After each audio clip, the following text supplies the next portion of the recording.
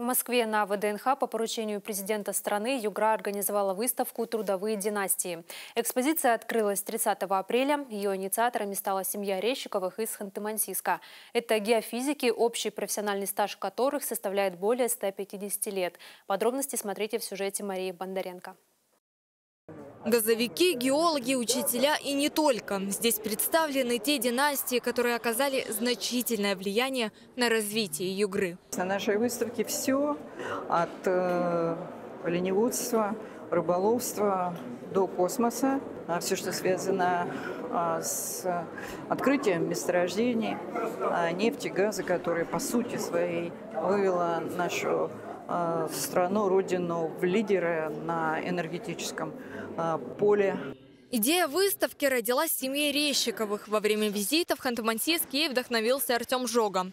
На встрече с представителями трудовых династий герой ДНР пообщался и с югорскими геофизиками и пообещал, что лично донесет их инициативу до главы государства. Задумка появилась неспроста, говорит Наталья Резчикова, ведь в стране объявлен год семьи. Именно так можно показать преемственность поколений. Мы решили, что раз такой год – мы выйдем с этим предложением, чтобы создать трудо... музей трудовых династий именно всей России, чтобы, допустим, здесь были ну, предметы, фотографии.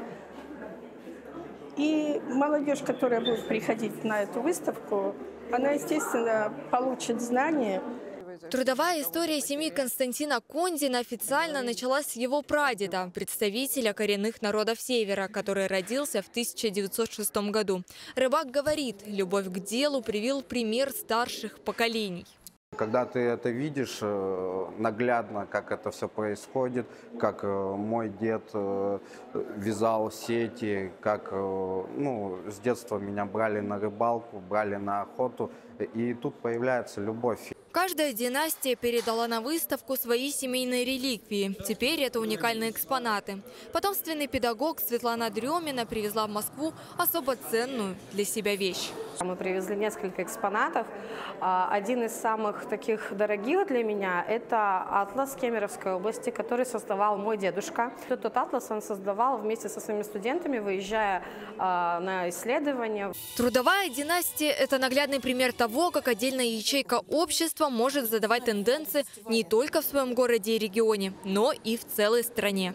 Такие выставки и такие а, форумы, мероприятия, безусловно, важны для нашей страны.